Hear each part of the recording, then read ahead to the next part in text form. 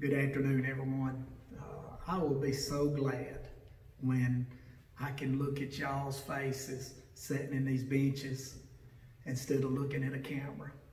Um, I had a little experience this week where I got to be among some of the children of God, and uh, we had the best time, Brother.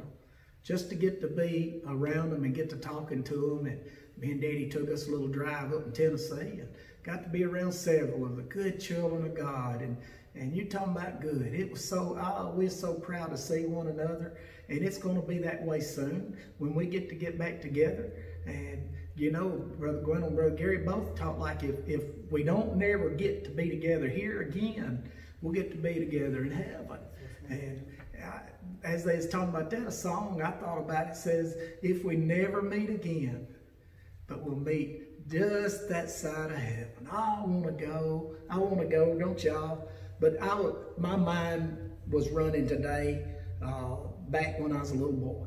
And I, I thought about, you know, uh, snow in this area is, is rare. And I remember Brother Gwendol's a little boy. Man, the biggest old snow come. And here I was excited. I was excited to get to go play in the snow. And before I could realize it, I was done out the door barefooted.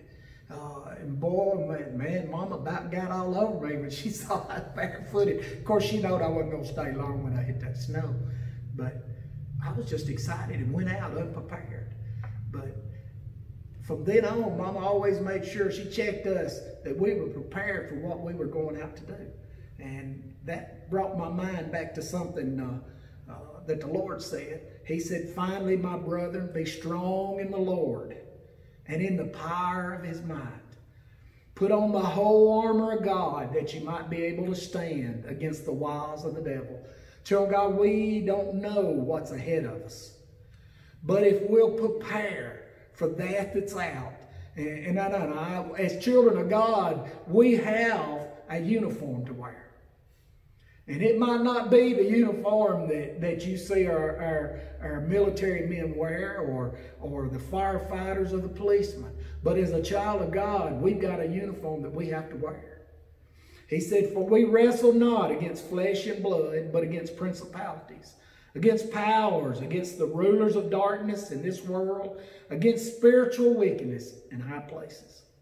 And wherefore, take unto you the whole armor of God, that you may be able to withstand in the evil days, and having done all to stand. Stand therefore, having your loins girt about with truth, and having a breastplate of righteousness, and your feet shod with the preparations of the gospel of peace. And above all, taking the shield of faith, wherewith you shall be able to quench all the fiery darts of the wicked Take the helmet of salvation and the sword of the Spirit, which is the Word of God. Praying always with prayer and supplication in the Spirit, and watching thereunto with all perseverance and supplications for all saints. And children of God, if we'll, if we'll be prepared for that that we're going out into, we'll have on that right uniform the whole armor of God. And you say today, Brother Mike, uh, I think I do. How would I know if I've got it all there? Well, I tell you, I had a, a, a, an experience here a couple of weeks ago and got called out on a new job to mow a lawn for a lady. And she said I come highly recommended. And she sure was proud to hear that I get to come to her. Her house was on the side of the mountain over in Jones Valley. And, you know, when I looked at it, I thought, man, I, you know, I don't know if I really want to do this or not, but uh, I priced the woman, a, I thought, a good price to do the yard. And she walked me and told me what I, to do. And I, I felt like I'd done exactly what she wanted. And at the end, I found out if I had on the whole armor of God, I hadn't been belittled or wore out that bad. She said I cut her grass too little. She said I, I run all of her lawn seed. Uh, I just, oh, she just went on and on and on. And, I, and at that point, you know the first thing that arises when something like it happens? Your natural self. Yeah, the flesh. The flesh rises. And, and you know, uh, at that moment, I'll back up a, a day or two. Brother Gwendol called me. And he said, Brother Mike, I just got one word on my mind. And he said, Would you call out to the children of God and just tell them charity?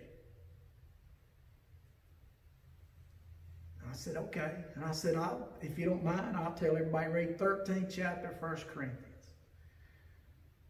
And I got up, I believe it was the next morning, and I opened up my Bible. And I'd already been thinking about charity. And I opened up, Brother Gary, and I wrote, I read the 13th chapter, 1 Corinthians, and started my day. And when I met up with that, that dear sweet lady, when I met up with her, oh my Lord, I found out if I had the whole armor of God on. If you if you if you think I don't want you to go through what I went through, but it'll it'll test you. Uh, when you need charity, you'll find out how much of the Lord that you do have. But the instant that she started, my mind went to charity. And I just told her, I said, ma'am, I am so sorry. And she kept on, and I said, ma'am, I'm sorry, and you don't owe me a penny for today. I am so sorry. And the Lord helped me that I didn't even get a bad feeling.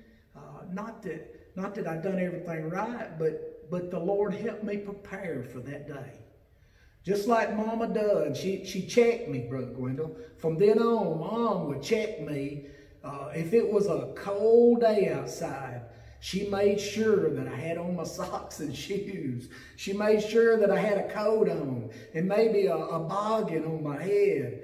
She made sure that when I went out that I was prepared.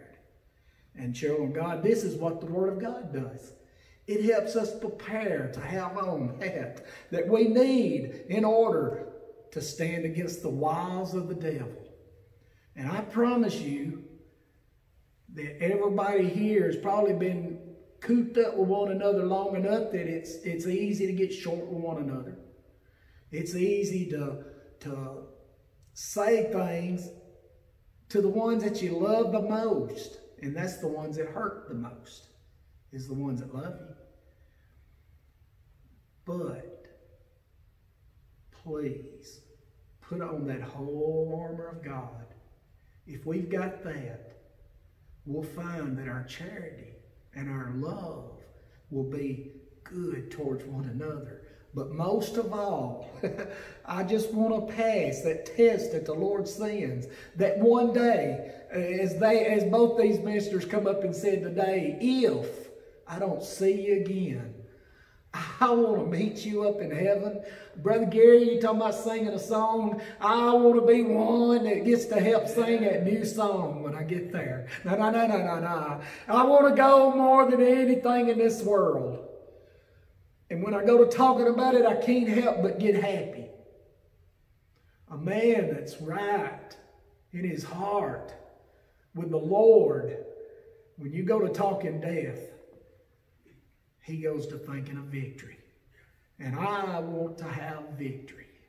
And I thank y'all for listening to me today. And I hope something was said that eh, out of all, all of us brothers today that will bless your hearts. And I hope to see you soon. Thank you.